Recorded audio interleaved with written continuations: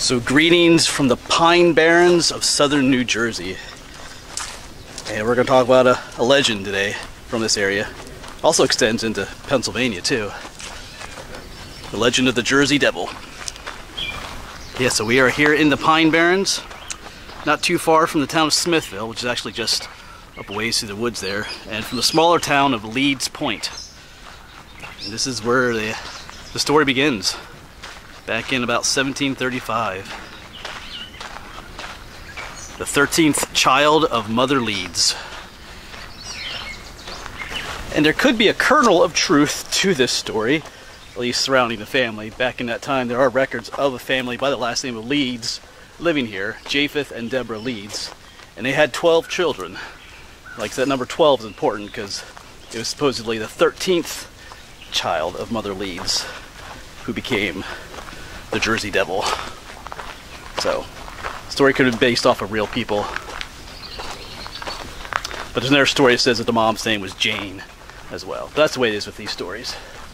So who and what is the Jersey Devil? A lot of you are probably familiar with the story to some extent. As with all legends, there's varying degrees, varying versions of it. So as the typical story goes, when Mother Leeds found out she was pregnant for the 13th time, uh, she cursed the child. I, I don't, God, who knows why. Maybe she didn't want a 13th kid, or maybe it was superstition. And according to stories, the child was indeed cursed then. And of course, the stories vary. One story, one version says that the child was born normal, and then upon being born, it immediately transformed into the Jersey Devil. Of course, we'll talk what that looked like a little bit later. Some say it was born in that form and just immediately started attacking people in the house. Um, you know, and then flew up the chimney and escaped out of the house. So different variations of that. And so what does this creature look like? Well, picture a kangaroo with hooves, bat wings, a horse's head and neck, uh, claws, a forked tail and horns, and big red eyes. There you go. That's pretty much the Jersey Devil right there. It's been terrorizing the Pine Barrens ever since, depending on who you talk to. Of course, here are some of the pines for which the Pine Barrens are named after. We'll be talking more about this other places. I'm going to be camping in the Pine Barrens later today. We'll talk more about the Jersey Devil, some of the sightings and its activities. Maybe we'll go for a little night walk too. And as we get to some other spots later today, I'll tell you more about the Jersey Devil some more about some of the sightings and some of the history of it. Like I said, I will be camping out in the Pine Barrens later today. We're not really in the heart of the Pine Barrens right here. We're actually in the Edwin, Edwin Forsythe National Wildlife Refuge, right near the coast. But this is where the story originates. Like I said, just back behind me, on the other side of the woods, is the little town of Leeds Point, where the story started. So I don't know if the Jersey Devil ever visits, ever visits its home woods, we'll keep our eyes open. Of course, he's not known to be out during the daytime either. Mostly comes out at night, so that's why I said maybe we'll, when we're camping this evening, maybe we'll go for a little, a little night hike. We'll see. All right, so we are in another section of the Pine Barrens. This is one of the old ghost towns that you can find out here. This is an old paper mill. Looks like an could be one of the hauntings for the Jersey Devil, maybe. So all kinds of stories and tales of people being chased or terrorized by the Jersey Devil as they were in the woods or went out of their house at night, tend to the livestock, or tried to get up early in the morning and go to work. In around 1909, there was a whole bunch of sightings all over New Jersey, Delaware, and Pennsylvania of the Jersey Devil. You know, police were looking for it, people were giving rewards for it, and uh, schools and mills like this one back here were shutting down. So why were they shutting down? Well, because people were afraid to leave their house to walk you know, early in the morning to work at a place like this or to leave home in the evening to walk through the woods to get back to home. Not just mill workers like this, but school, you know, school children. So sometimes there was not enough children into school, so they just shut school down or shut these mills down. It didn't last terribly long, but there was a time when the scare of the Jersey Devil was doing that. All right, so here we are in the in the thick of the Pine Barrens. Almost feels like a perfect spot to encounter something out of the ordinary. Yeah, but throughout the, not just the decades, but the centuries, you know, since, since 1750s, people have been claiming to see the Jersey Devil. Either just to catch a glimpse of it, something watching them from the woods. Some people claim to be chased by it. Just seeing its dark red eyes staring at them. Supposedly it lets out a horrifying scream too. As a way of scaring people.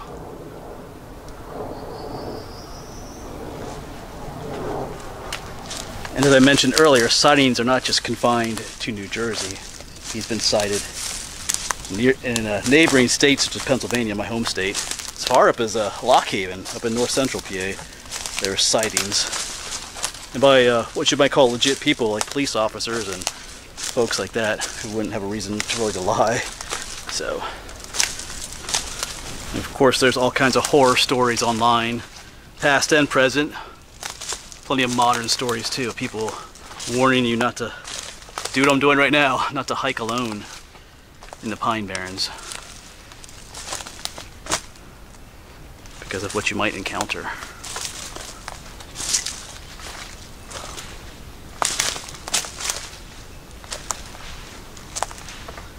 All right, but this is a Jersey Devil or not, this is a beautiful little section of forest. These are like cedar trees here.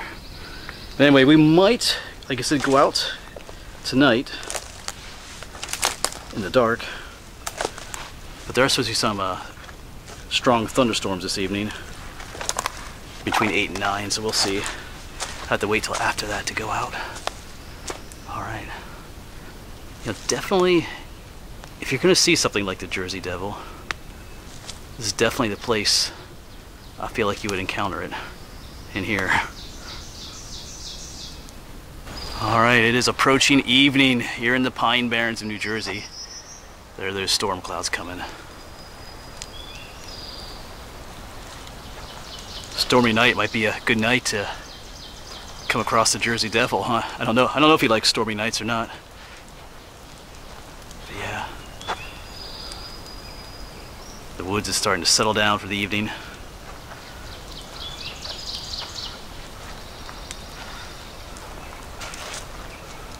We'll see. Like I said, I'm not sure how long it'll thunderstorm tonight, but maybe we'll try to get out, do a little bit night walk. see what we can see. All right. So we are out here at night. It's about 10:30. Storms have stopped. So just go for a little walk in the dark.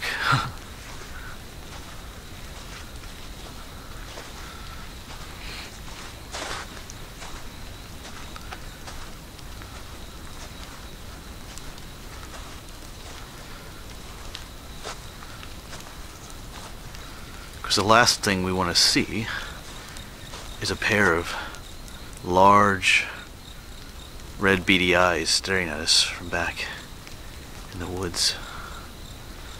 Although it might make for a good video, not really what we want to see.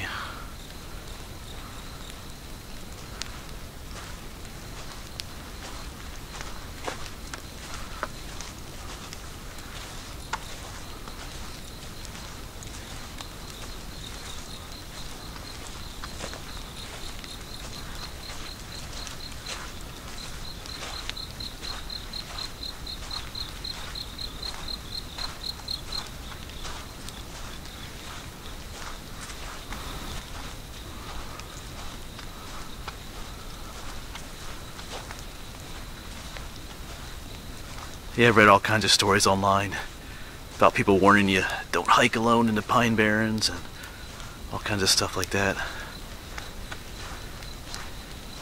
Said people being chased, screamed at, all kinds of stuff.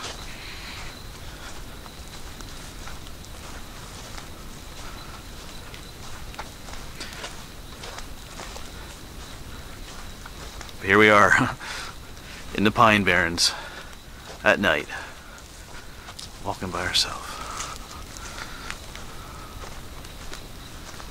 Getting bitten by mosquitoes.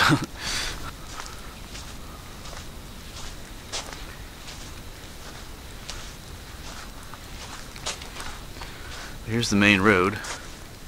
Just kind of curious to see what the main road looked like till we got a ton of rain.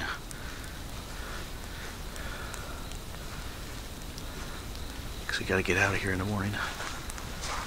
Yeah, so what, you know, people that are seeing things, you know, what exactly is it that they're seeing when they come out here?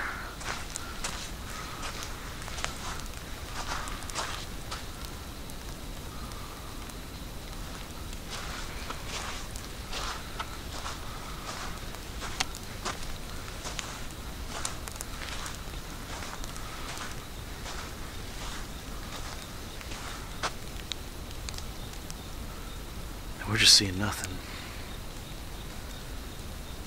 Which is not entirely a bad thing. uh,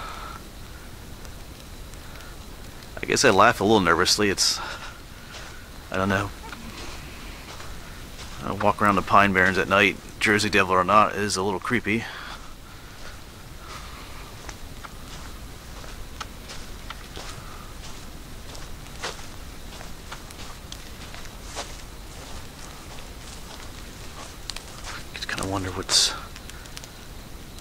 Staring at you from off in the woods.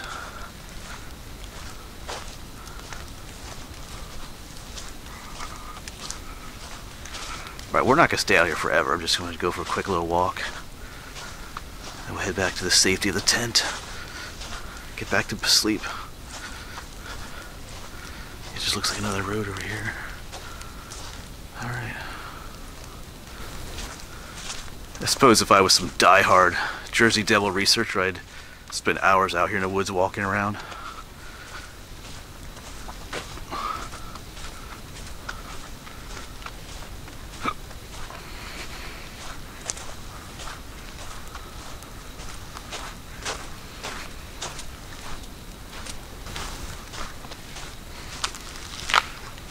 Hope that's a piece of trash I just stepped on, I think. Must be an old water bottle down there. Yeah, it's quiet out here. Or is it too quiet? Alright.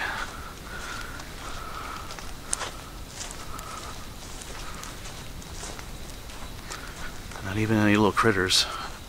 No, I mean little little tiny pairs. I wouldn't, you know, seeing a little tiny pair of red eyes wouldn't be that awful either. Yeah, what'd you think if you turn around the corner and there was this huge kangaroo-like creature, you know, like hooves and horse head and big bat wings and horns and forked tail, just like big red beady eyes, just like staring at you, and also it just screams at you. Um, yeah, I'd be getting it. Well, no, where I'd be if it was my camp is this way, so that would be problematic. Because this is the way I'd want to go. Hop in my jeep, I guess, and get out of here. That would be problematic. All right. All right, well, there's my camp. So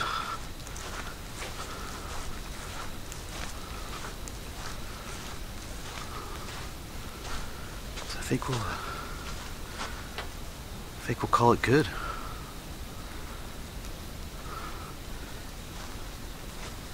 Head back to bed.